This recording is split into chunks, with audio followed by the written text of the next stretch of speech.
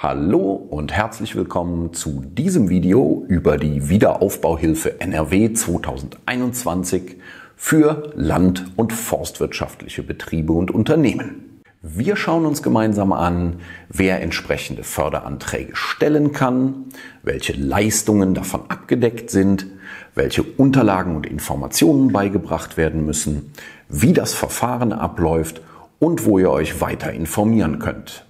Wer kann Anträge auf diese Fördergelder stellen? Das können Unternehmen der Land- und Forstwirtschaft sein. Das können Unternehmen der Fischerei und Aquakultur sein. Und das können Eigentümer, Besitzer, Pächter und andere Nutzungsberechtigte von land- und forstwirtschaftlichen Flächen sowie von Teichflächen sein. Welche Leistungen können denn diese Betroffenen und Antragsteller geltend machen? Da gilt als Regelfall, dass man ab einem Schaden von 5000 Euro Beträge geltend machen kann. Aber das ist der Regelfall. Das heißt, ausnahmsweise könnten auch geringere Beträge geltend gemacht werden. Und dann muss die Bewilligungsbehörde nach sachlichem Ermessen feststellen, ob Beträge gezahlt werden können oder nicht. Grundsätzlich werden 80 Prozent der förderfähigen Kosten bezuschusst. In besonderen Härtefällen sind aber auch Förderungen bis zu 100 Prozent der Kosten möglich.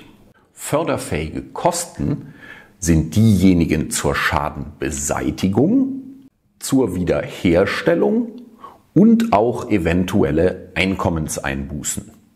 Agrarbetriebe kennen diese Probleme. Regeln sind häufig sehr ausführlich und recht kompliziert. Deswegen die genauen Berechnungsmethoden, da empfehle ich euch, schaut in die Nummer 542 der Förderrichtlinie Wiederaufbau NRW. Die haben wir euch natürlich in der Beschreibung verlinkt. Die Beträge, die gezahlt werden können, sind beschränkt durch die beihilferechtlichen Regelungen der Europäischen Union, zum Beispiel aus der nationalen Rahmenrichtlinie und der Rahmenrichtlinie für den Fischerei- und Aquakulturbereich. Es gilt hier, dass auch die Kosten vor dem Eintritt des Schadenereignisses also zur Schadenabwehr, geltend gemacht werden können, genauso wie deren Beseitigung.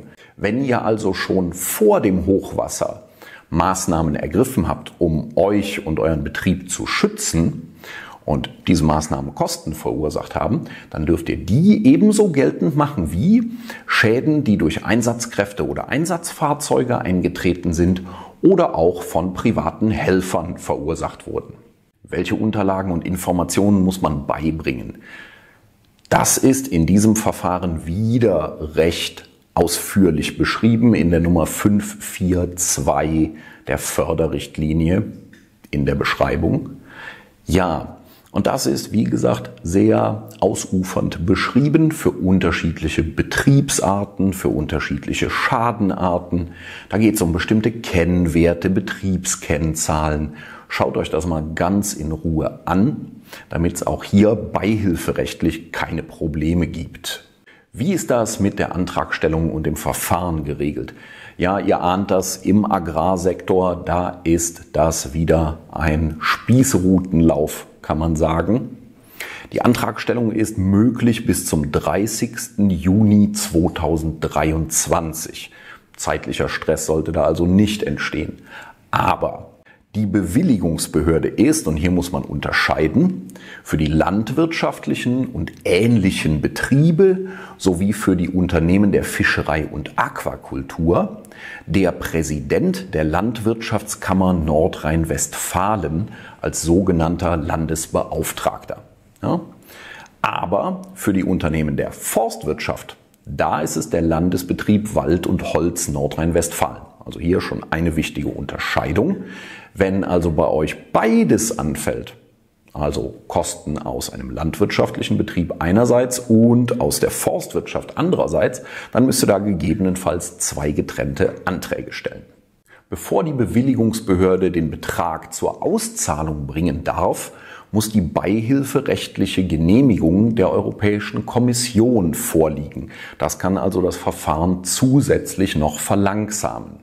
Wie bei allen Fördermitteln muss ein Verwendungsnachweis zur Überprüfung zur Verfügung gestellt werden. Dieser Verwendungsnachweis besteht aus einem Sachbericht. Das könnt ihr euch vorstellen wie einen naja, Bericht, den ihr erstellt habt über die Schäden, die entstanden sind, die Maßnahmen, die ihr ergriffen habt, was das gekostet hat und wie diese Arbeiten vonstatten gegangen sind. Außerdem, zweiter Teil des Verwendungsnachweises, das ist eine abschließende Belegliste, in der ihr also alle Unterlagen, die die Kosten im Einzelnen belegen, auflistet, nach einer Belegnummer, einem Datum und dem zugehörigen Betrag. Ja, ihr merkt das und wahrscheinlich kennt ihr das auch schon. Bei Agrarunternehmen, da ist das immer was ganz Besonderes, wenn es um Beihilfen, Zuwendungen und Fördergelder geht. Hier insbesondere zwei zu nennen. Die erste kennt ihr ganz bestimmt schon. Alle Beihilfen über 60.000 Euro müssen im Transparenzportal der Europäischen Union veröffentlicht werden. Den Link zu dem Portal stellen wir euch natürlich auch ein. Und die zweite Besonderheit, die Schäden, die ihr berechnet habt, die müssen erstmal amtlich festgestellt werden bei der nach Landesrecht für euren Betrieb zuständigen Behörde. Das kommt dann auf euren Wirtschaftszweig an, aber das kennt ihr bestimmt schon, wer da für euch zuständige Stelle ist. Teilweise müsst ihr dafür bestimmte Unterlagen vorlegen. Denkt da an die Nummer 542 der Richtlinie. Da steht das Maßgebliche drin. Ja, und wenn ihr jetzt noch mehr Informationen haben wollt, die haben wir euch in die Videobeschreibung eingestellt. Falls ihr noch coole Ideen oder Fragen habt oder ihr kennt andere Videos, die sich mit dem Thema befassen, dann haut's uns doch in die Kommentare und dann schauen wir, dass damit möglichst vielen geholfen wird. Für euch und alles, was ihr vorhabt, toi toi toi, alles Gute und bis zum nächsten Mal.